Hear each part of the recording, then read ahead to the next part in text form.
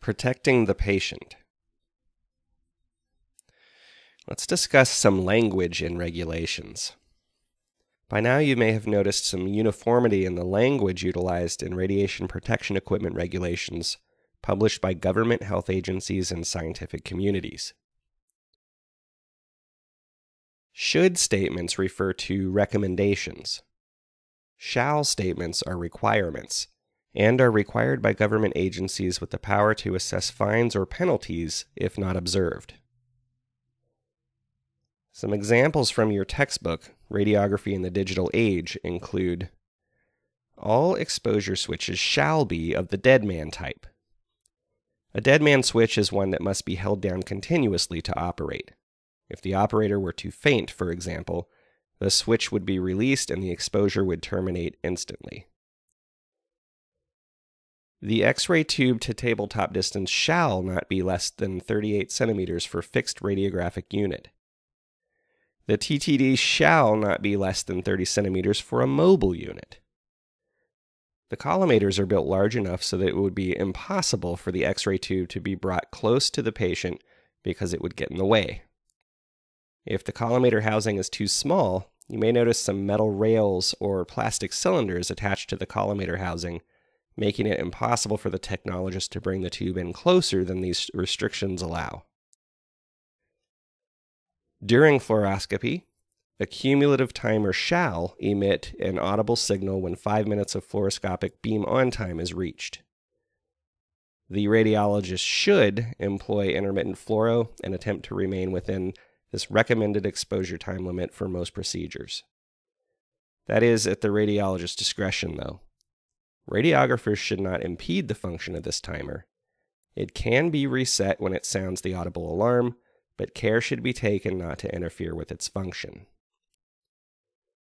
A fluoroscope routinely operated above 90 kVp should have 3 millimeters of aluminum equivalency for filtration.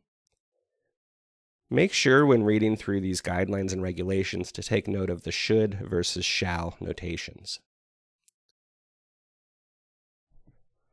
Fluoroscopic technology.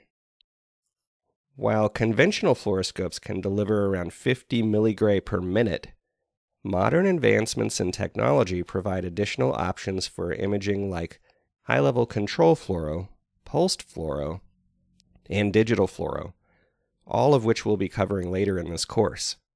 But there are types of fluoroscopic imaging like high contrast or enhanced imaging procedures that increase the potential dose for imaging for very specific purposes. Newer machines have a dose limit of 100 milligray per minute for AP positions and 200 milligray per minute for lateral positions. Some also have louder audible alarms when total fluoro time reaches 10 minutes. With these increased doses, there's obviously increased risk, but the argument for allowing this type of technology onto market is simply that the physician is ultimately responsible for weighing benefit versus risk for every procedure. Additional safety techniques like pulsed fluoro can be utilized to reduce exposure all around.